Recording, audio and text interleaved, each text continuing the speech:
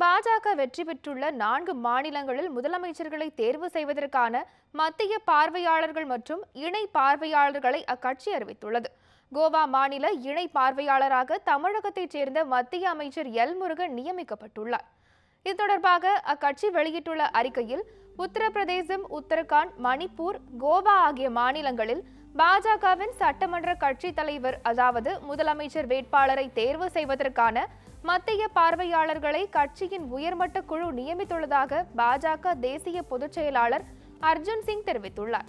அதன்படி உத்தரப்பிரதேசத்திற்கான பார்வையாளராக மத்திய உள்துறை அமைச்சர் அமித்ஷாவும் இணை பார்வையாளராக ஜார்க்கண்ட் முன்னாள் முதலமைச்சர் ரகுவர் தாஸும் நியமிக்கப்பட்டுள்ளனர்.